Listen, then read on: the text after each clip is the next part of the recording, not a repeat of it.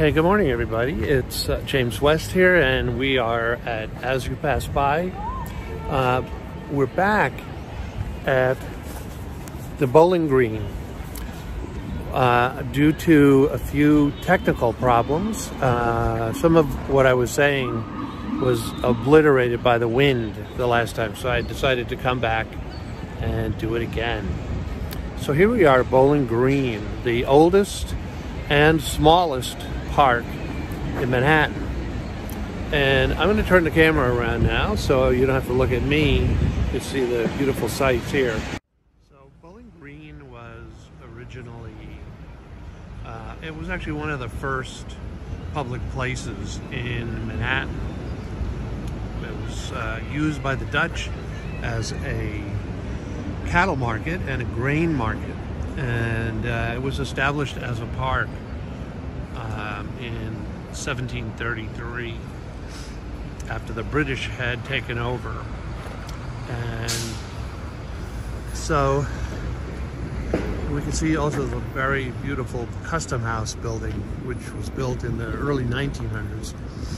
But um, the park itself was actually a very important Lenape Indian cultural site uh, dating back to about 4000 BC. So it's got a long history.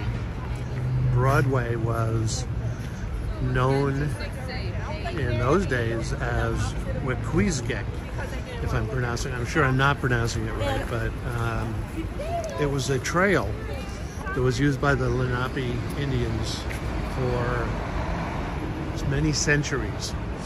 Anyway, um, and it was a sort of central point of Manhattan back in the early days.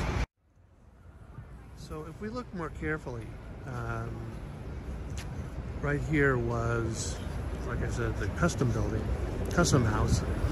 And uh, right over there was um, a street which would have passed right by where I'm standing, which was called Marketfield Street. It still exists. It's cut off by the northern part of 2 Broadway, which is right here. And it once, it, it, it exists now with a, uh, like a 90 degree angle. Uh, I'm not gonna take you there because it's much to see. But it once passed through here and down across the street. Over here we have one Broadway, which was at one point the United States line building, the, the um, steamship company. Um, but it was also a place called the Kennedy House in the early 1700s, which was where uh, a number of British generals lived um, when they were in the city. Uh, such as General Howe, um, George Washington did not sleep here, but um, probably right about here, behind where the bus is, was um, the third house of Broadway. It probably would have been number five, and that's where Benedict Arnold lived We're looking down Beaver Street from Bowling Green and you can see a little green roof, little copper roof there. That building is the end point of Marketfield Street. Um, and it makes a right angle and, and turns east. Actually, it's north um, for about 100 feet. It's one of the smaller streets in New York City.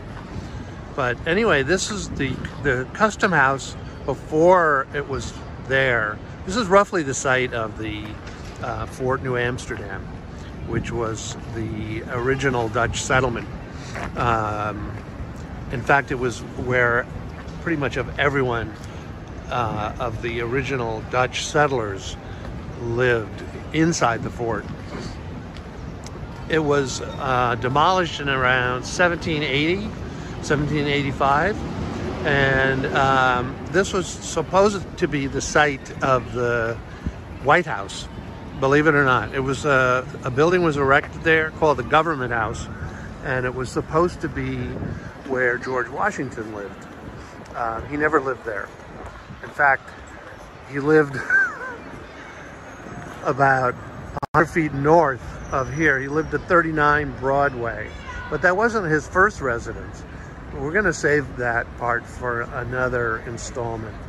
But um, anyway, and as we mentioned earlier, this was uh, number one Broadway, which was where several, uh, well, there was a, a building there called the Kennedy House, where several British generals lived. And of course, Benedict Arnold, who was a famous uh, traitor who originally was with the Continental Army and then uh, became, excuse me, a uh, British soldier. Um, and uh, he was not tried for treason. He lived and died uh, the rest of his, he lived the rest of his life in England, uh, where he died. But what happened here at the um, government house was Washington never lived there. It was then used by several governors of the state of New York, including DeWitt Clinton.